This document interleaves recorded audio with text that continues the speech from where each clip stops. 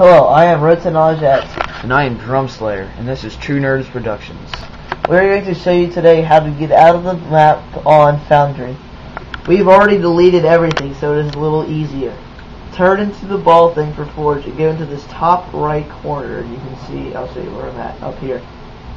It's on the right side. Yeah. We we haven't done on the left side, but just do it on the right side. I'll think you can do it. I'll Yeah. think on the side. Yeah, I spawn a receiver. Go up to it, spawn a receiver, and then drop it. Go out anywhere and spawn a sender.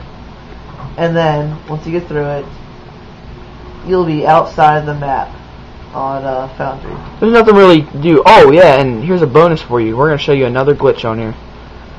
Okay, and there's not. You can't really get out. Just kill yourself, whatever you feel like. There's really nothing you can do. Just for have fun, Looks. pressure friends. Yeah, and here's another glitch for you. It's called the turret glitch. Try this on any place. Just like put your back on, on back to it. Okay, this is the this is a place where you can do it and it actually does something. Sometimes Yeah. it'll do stuff. Other times it'll just fall to your death or you kill Yeah. by the guardian. Okay, so turn their turret against like there. Whatever the building you Hey, Roach go like on the side of it. Okay, right there. See?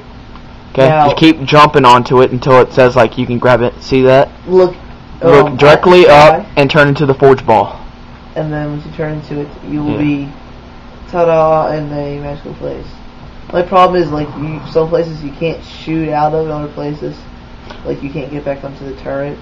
But um, some stuff actually does work. So, well, now you know. Knowledge is power, and this is True Nerds Productions. Well, I'm Renson at signing out. And I am Drum Slayer, signing out too. Peace.